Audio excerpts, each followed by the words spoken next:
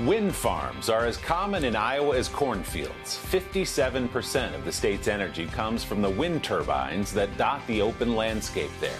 But providing that kind of clean wind energy to densely populated urban areas is another matter entirely.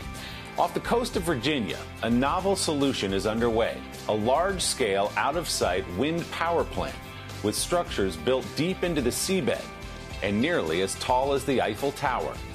Kerry Sanders takes us there for our Sunday spotlight in the NBC News series Climate Challenge The Extremes. Man has harnessed Mother Nature's breezes throughout history. But what we found during our journey from Norfolk, Virginia, past the U.S. Navy base, 27 miles from shore, is well beyond what any Dutch farmer in the 12th century could have imagined. Dominion Energy, Virginia's largest electric utility, began with just two, but soon it will become 180 pollution free wind generators and possibly a blueprint for the future. Tornado! This, as climate scientists say, there is a direct cause and effect between carbon pollution and extreme weather. They all tell us this is code red.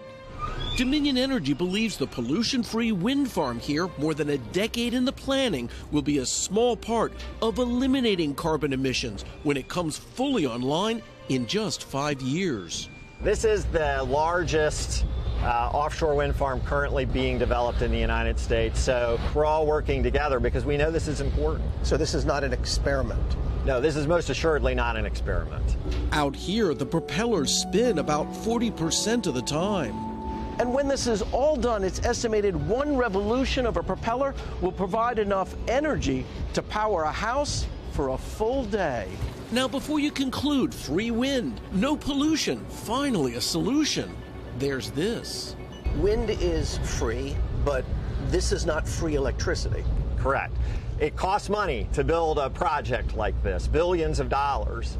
But as you point out, the fuel source is free. So as we operate these plants over the course of decades, we're not going to have to pay money to buy coal or to buy natural gas as we would at a more traditional uh, power plant. So if you have 180 wind turbines out here, does that necessarily mean the coal-fired plant closes? It does not necessarily mean that. Engineer Diego Tapia switched his job from Dominion's nuclear plant to wind power after his two-year-old daughter was born. Do you feel an obligation to your to your daughter? I think we feel obligated to our planet.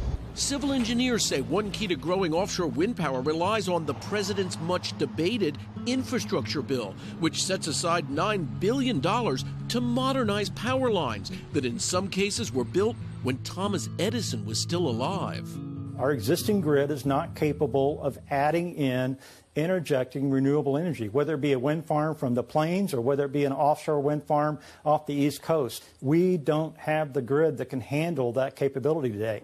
Offshore wind in the early stages of becoming a significant power source on both the East and West coasts. Now waiting to see which way the wind blows in Congress on the infrastructure bill.